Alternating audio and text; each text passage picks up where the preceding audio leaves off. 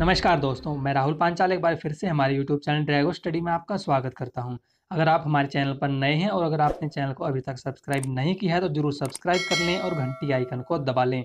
दोस्तों, आप जानते हैं कि हरियाणा सरकार हो या चाहे कोई भी सरकार हो, वहाँ पर भर्तियाँ होती हैं तो कहीं ना कहीं से खबर ज़रूर आपको मिलती है कि वहाँ पर भ्रष्टाचार हुआ है, कोई ना कोई गड़बड़ी हुई है। कभी पेपर आउट होता है तो कभी जो इंटरव्यू के बेस पर जो सिलेक्शन कर लिया जाता है और लिस्ट कहाँ से आती है, वो आप अच्छे से जानते हैं। जब इंटरव्यू में जो सिलेक्शन होते हैं, उसी तरह का एक उदाहरण देखने को अब मिला है हरियाणा में। सुप्रीम कोर्ट ने एक पुरानी भर्ती थी, जो कि पीटीआई की भर्ती थी। उन्नीस इसमें टोटल वैकेंसी थी। उस भर्ती को जब कैंसिल किया गया है, सुप्रीम कोर्ट ने ऑर्डर जारी कर दिए हैं।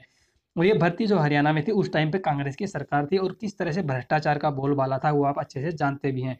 अब भर्ती क्या है क्या कुछ मामला है? पूरा मैं आपको यहाँ पर दिखा देता हूँ।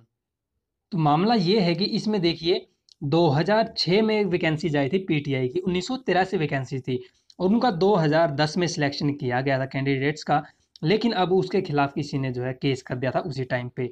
तो उसके जो है, वहाँ पर हाई कोर्ट ने भी जो फैसला दिया था कि उस भर्ती को जो है कैंसिल कर दिया जाए, क्योंकि उसमें गड़बड़ियाँ सामने आई थी। अब उसके बाद उन जिन कैंडिडेट्स का सिलेक्शन हुआ था, उन्होंने फिर केस किया कि हमारा जो है भर्ती को रद्द क्यों किया गया है, हमारा सिलेक्शन इसमें हुआ है।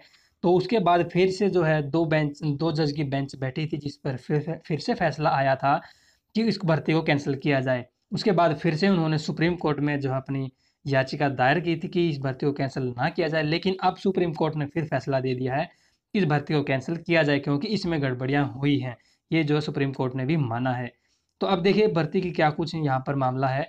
तो अब उन्होंने जो है इसमें एक चीज़ है देखने की कि जिन कैंडिडेट्स ने उस टाइम पे इसमें जो है जिनका सिलेक्शन हुआ था, उन्हें ये मौका दिया है कि आप दोबारा से इस भर्ती को, जैसे ही अब दोबारा से इसके फार्म निकलेंगे, दोबारा से भर्ती की जाएगी तो उसमें आप दोबारा से फार्म भर सकते हैं, चाहे आपकी उम्र बेशक ज़्यादा हो गई है, लेकिन फिर भी आप इसमें फार्म भर सकते हैं। और जो उन्होंने सैलरी ले ली है, इतने सालों से जो सैलरी लेते आ रहे हैं, वो सैलरी भी उन्हें वापस नहीं लौटानी पड़ेगी सरकार को, और इसके अलावा जो भी उन्होंने भत्ते वगैरह लिए थे सरकार से, वो वापस नहीं देने पड़ेंगे। ये इनको जो है कि अच्छी उनके लिए खबर है कि उन्हें छूट है।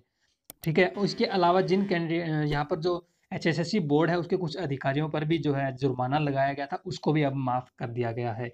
अब देखिए पूरा मामला क्या कुछ था? तो देखिए, इसमें जो मैंने आपको अभी बताया कि उन्नीस सौ तिरासी टोटल पोस्ट थी 2006 में फार्म निकले और 2010 में भर्ती प्रक्रिया को पूरा किया गया। लेकिन इसमें कुछ कैंडिडेट ऐसे थे जिनका सिलेक्शन नहीं हुआ था, जिनका नाम देख सकते हैं यहाँ पर कि संजीव कुमार है, एक ज़िले राम है और इसके अलावा भी कुछ और कैंडिडेट्स हैं। उन्होंने हाई कोर्ट में जो याचिका दायर की थी कि इसमें जो है भर्ती में गड़बड़ियाँ हुई है।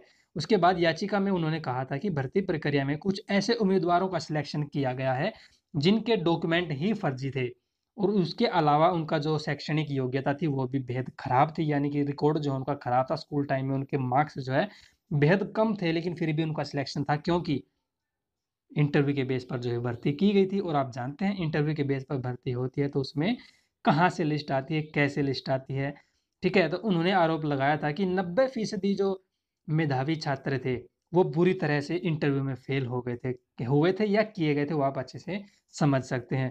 उन्होंने बताया कि 30 में से उन्हें 10 नंबर भी नहीं दिए गए थे 90 परसेंट ऐसे कैंडिडेट रहे जो कि मार्क्स उनके अच्छे थे स्कूल टाइम में, लेकिन 30 में से 10 नंबर भी उनके नहीं दिए गए। और इसके अलावा देखिए, पहले है 25 नंबर का इंटरव्यू होना था, लेकिन बाद में उसको बढ़ाकर 30 नंबर का कर दिया गया था। तो ये इस तरह की कुछ गड़बड़ियाँ जो इस भर्ती में सामने आई थी, और आज के टाइम में भी ऐसी भर्तियाँ आती हैं। आप जानते हैं, कुछ टाइम पहले ही अभी जबकि बीजेपी की सरकार हमारे हरियाणा में है, उसमें भी तहसीलदार की कुछ भर्तियाँ आई थी, जिसमें कि अदर स्टेट के ज़्यादातर कैंडिडेट्स को सिलेक्ट कर लिया गया था। जबकि होना ये चाहिए कि हरियाणा के कम से कम अस्सी सत्तर सत्तर से अस्सी परसेंट तक कैंडिडेट का हरियाणा वालों का ही सिलेक्शन होना चाहिए, जबकि हुआ था हरियाणा से बाहर का, ज़्यादातर उसमें गुजरात के कैंडिडेट थे। ऐसी गड़बड़ियाँ आज भी होती हैं, इससे जो है नकारा नहीं जा सकता, लेकिन सरकार मानती नहीं है, वो बात अलग है। हमारे YouTube चैनल को सब्सक्राइब करें, घंटी के निशान को दबा के ऑल नोटिफिकेशंस ऑन कर दें। फेसबुक पर देख रहे हैं तो हमारे फेसबुक पेज को फॉलो कर लें। वीडियो अच्छी लगी तो लाइक और अपने दोस्तों के साथ शेयर करें।